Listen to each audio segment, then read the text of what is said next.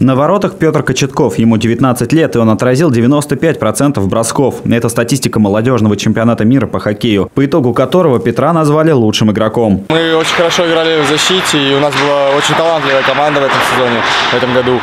Вот, и как бы я выходил с одной мыслью получать удовольствие от хоккея, потому что такое событие бывает раз в жизни молодежь мира.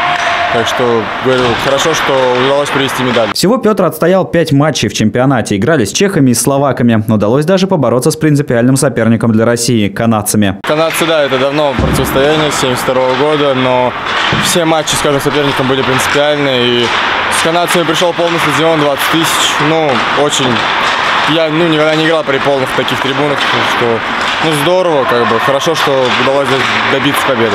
Российская сборная завершила молодежный чемпионат мира с бронзовыми медалями. В матче за третье место обыграли Швейцарию со счетом 5-2. С победой спортсмена поздравили все игроки Рязанского клуба, а также тренерский состав. Теперь обратно в Рязань возвращаться к тренировкам, разминка, подготовка ко льду и вратарские упражнения. А игры совсем скоро. 12 числа играют на родине, а потом улетают в Китай. Надо, дай бог, хорошо закончить домашнюю серию и как бы готовиться к Китаю. Ну, надо просто готовиться к каждой встрече. Там как бы, все-таки сейчас при своих болельщиках играем, надо их как можно чаще радовать.